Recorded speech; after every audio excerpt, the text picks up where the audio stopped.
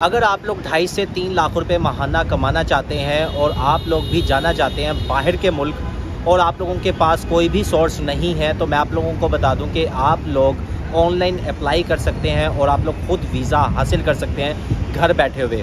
जी हाँ फ्रेंड्स आज की वीडियो में दो टॉपिक कवर करने वाला हूँ। एक तो आप लोगों को बताने वाला हूँ कि आप लोग कैसे उस कंट्री का विज़िट वीज़ा ले सकते हैं, जिस कंट्री का नाम है ब्राज़ील ब्राज़ील एक बहुत ही खूबसूरत मुल्क है, जहाँ पर आप लोगों को बताऊँगा कि कैसे आप लोगों ने वर्क परमिट हासिल करना है और कैसे आप लोग अपना विज़िट वीज़ा के अप्लाई कर सकते हैं। ये सारा कुछ आज की वीडियो में बताने वाला हूँ, लेकिन वीडियो स्टार्ट करने से पहले आप लोगों को ये बताता चाहूँ कि मेरा नाम है अरसलान और आप देख रहे हैं अरसलान भाई का यूट्यूब चैनल अगर आप लोगों ने अभी तक अरसलान भाई के यूट्यूब चैनल को सब्सक्राइब नहीं किया तो मेक श्योर कर लें, पहले चैनल को सब्सक्राइब कर दें।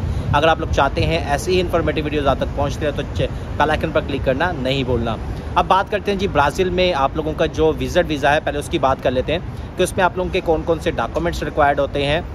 और क्या क्या खूबसूरती है वहाँ की। मैं आप लोगों को बता दूँ कि यार वहाँ की जो खूबसूरती है, बहुत ही खूबसूरत मुल्क है।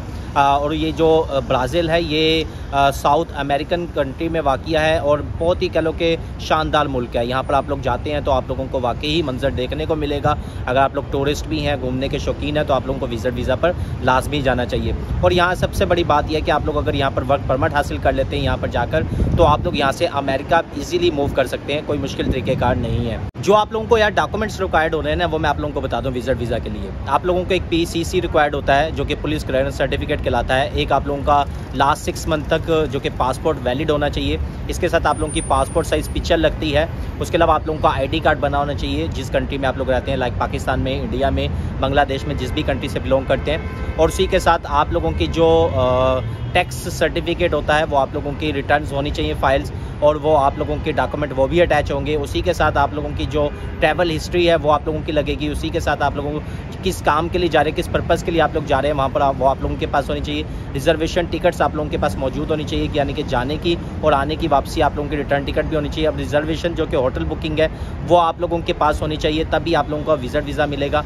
अदरवाइज़ आप लोगों को विज़िट वीज़ा नहीं मिलता उसी के साथ आप लोगों की कुछ बैंक स्टेटमेंट लगती है और कुछ आप लोगों की इस तरह से फ़ाइल रेडी होती है और उसके बाद आप लोगों का इंटरव्यू होता है और इंटरव्यू होने के बाद आप लोग सेलेक्ट हो जाते हैं और आप लोगों को विज़िट वीज़ा वो दे देते हैं अब मैं आप लोगों को ये बता दूँ कि यार ये जो डॉक्यूमेंट्स आप लोगों को बताया अगर आप लोग ये फ़ाइल कंप्लीट कर लेते हैं तो आप लोग इजीली विज़िट वीज़ा के लिए अप्लाई कर सकते हैं।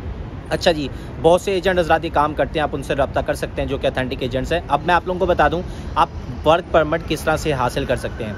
फाइव स्टार होटल है यार आप लोग यहाँ पर जाएँ आप लोग ऑनलाइन अप्लाई करें वो मैं आप लोगों को बताऊँगा कि कैसे आप लोगों ने अप्लाई करना है इसमें डॉक्यूमेंट्स कौन से रिक्वायर्ड होते हैं वो मैं आप लोगों को बताता हूँ एक तो आप लोगों की सीवी रिक्वायर्ड होती है जो कि आप लोगों की एक अच्छी सीवी बनी होनी चाहिए ए टी एस जो कि आप लोगों की ऑनलाइन चेक करें तो आप लोगों की सीवी के नंबर अच्छे आने चाहिए परसेंटेज अच्छी आनी चाहिए उसी के साथ आप लोगों का कवर लेटर लगता है ये चीज़ें आप लोगों के साथ लगती हैं और उसके बाद आप लोगों की एप्लीकेशन सबमिट हो जाती है इसमें आप लोगों के लिए कोई बैंक स्टेटमेंट नहीं चाहिए आप लोगों की कोई फ़ाइल रेडी नहीं चाहिए वो खुद आप लोगों को वीज़ा भेजेंगे आपको स्पॉन्सरशिप भेजेंगे जब आप लोगों को स्पॉन्सरशिप भेजेंगे आप लोगों को ऑफ़र लेटर भेजेंगे उसके बाद आप लोगों ने वो अम्बेसी में लेकर जाना होता है उसके अम्बेसी में जाने के बाद आप लोगों को वहाँ पर इंटरव्यू होता है इंटरव्यू के बाद आप लोगों को पास कर देते हैं और आप लोगों का वीज़ा लग जाता है अब मैं आप लोगों को बताता हूँ कि आप लोगों ने ऑनलाइन कैसे अप्लाई करना है इस होटल में और आप लोग कैसे यहाँ पर जॉब हासिल कर सकेंगे वो मैं आप लोगों को बताता हूँ क्योंकि ऑनलाइन अप्लाई करना ज़रूरी होता है अगर आप लोग ऑनलाइन अप्लाई नहीं करते तो आप लोगों की जॉब भी नहीं लग सकती जैसे कि आप लोगों को पता है कि कहीं भी आप लोग रहते हैं लाइक आप लोग पाकिस्तान में रहते हैं बांग्लादेश में रहते हैं किसी भी कंट्री में रहते हैं तो आप लोग ऑनलाइन अप्लाई करते हैं तो आप लोगों को जॉब मिलती है ना?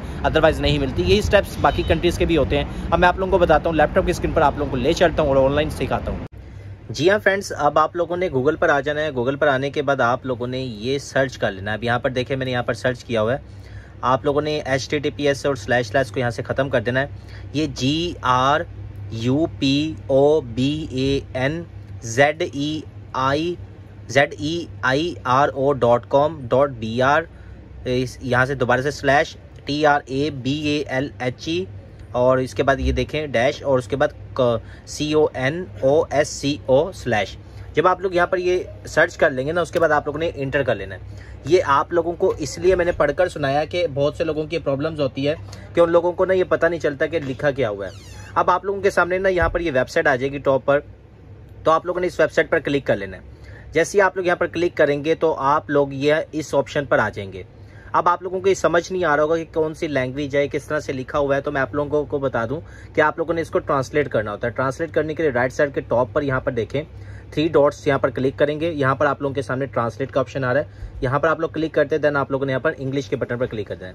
आप यहाँ पर इंग्लिश करेंगे तो आपके सामने यहाँ पर देखें अब ये बिल्कुल सही लिखा हुआ आ गया है। बेन ज़ीरो ग्रुप कैरियर तो अब आपके सामने ये आ चुकी है वेबसाइट। अब आप लोगों ने यहाँ पर अप्लाई करना है। डायरेक्ट आप लोगों को कैरियर ऑप्शन पर लेकर आए हूँ, ताकि आप लोग खुद अप्लाई करें, आप लोगों को भी समझ आए कि किस तरह से अप्लाई करना और किस तरह से जाना है। अगर आप लोग अप्लाई नहीं करेंगे तो आप लोग को कोई रिस्पॉन्स नहीं आएगा। तो मैं आप लोगों को बता दूँ अप्लाई करना बहुत ज़रूरी होता है। अदरवाइज़ अप्लाई नहीं करेंगे तो यू नो वेरी वेल के क्या होता है। अच्छा जी, वो कह रहे हैं कि are you passionate about amazing gastronomy join the team अब यहाँ पर आपके सामने पूरा फॉर्म उन लोगों ने दे दिया, उस होटल वालों ने। वो कह रहे हैं कि fill out the form with your information and good luck वो कह रहे हैं कि आप लोग इस फॉर्म को फिल करें और उसके बाद आप लोग अपना लक आजमाएँ। अगर आप लोगों के नसीब में होगा तो वो आप लोगों को बुला लेंगे। अदरवाइज़ आप लोगों को रिजेक्ट कर देंगे। हम यहाँ पर देखें फुल नेम आ रहा है। आप लोगों ने अपना फुल नेम लिखना है अपना ईमेल एड्रेस यहाँ पर लिखना है। आ, कोई भी फ़िलहाल मैं अभी ईमेल एड्रेस मेंशन कर देता हूँ यहाँ पर। लाइक कुछ भी मेंशन कर देता हूँ। तो यहाँ पर जैसे ही आप लोग अपनी चीज़ें मेंशन करेंगे आपने बिल्कुल एक्यूरेट देनी है। क्योंकि मेरा ईमेल एड्रेस एक्टिव नहीं है। आप लोगों ने अपना फ़ोन नंबर दे देना है। फ़ोन नंबर के बाद आप लोगों ने नीचे आ जाना है। वो कह रहे हैं कि where do you prefer to work यहाँ पर आप लोगों ने बताना है कि किसमें यहाँ पर कौन सी चीज़ में आप ज़्यादा काम करना पसंद करेंगे। प्रोफेशनल एरिया क्या है? किचन है सर्विस है क्लीनिंग है मार्केटिंग है किसमें आप लोग का करना चाहते हैं? उसके अलावा आप लोगों ने यहाँ पर मैसेज देना है, कोई अपने बारे में कि आप लोग जो आ रहे हैं वहाँ पर, आप क्या कर सकते हैं और कंपनी के लिए क्या करेंगे? सारा कुछ यहाँ पर आप लोगों ने एक अच्छा से कह लें कि कवर लेटर कह लें आप लोगों ने बनाकर यहाँ पर अपलोड करना है। अटैच फ़ाइल में आप लोगों ने यहाँ पर अपने रिज्यूमी अपलोड करनी है, जो कि स्टार्ट में मैंने आपको बताया था कि बहुत ज़रूरी होता है। रिज्यूमी के अलावा कोई भी एप्लीकेशन एक्सेप्ट नहीं होती। उसके बाद आप लोगों ने सबमिट एप्लीकेशन पर क्लिक कर देना। आप लोगों की एप्लीकेशन चली जाएगी इस रेस्टोरेंट में और उसके बाद आप लोगों को बहुत जल्द इनशाला रिस्पॉन्स मिल जाएगा। So friends and I hope कि आप लोगों को समझ आ गया होगा कि किस तरह से आप लोगों ने भी अप्लाई करना है। यही स्टेप्स को अगर आप लोग फॉलो करते हैं तो आप लोग इंशाल्लाह बहुत जल्द ब्राज़ील जा सकेंगे। अगर आप लोगों को वीडियो इन्फॉर्मेटिव लगी है तो वीडियो को ज़्यादा से ज़्यादा थम्सअप कर देना है, अपने फ्रेंड्स के साथ शेयर कर देना है। और जिस दोस्त ने अभी तक असलान भाई के यूट्यूब चैनल को सब्सक्राइब नहीं किया तो मेक श्योर कर लें चैनल को सब्सक्राइब कर दें और साथ ही बालाइकन पर क्लिक कर दें। थैंक यू सो मच अल्लाह हाफिज़।